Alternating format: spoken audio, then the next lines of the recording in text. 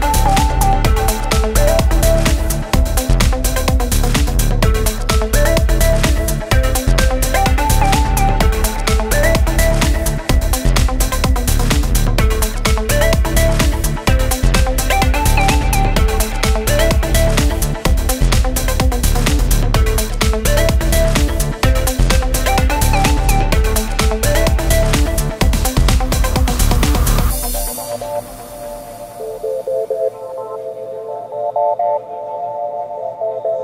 you.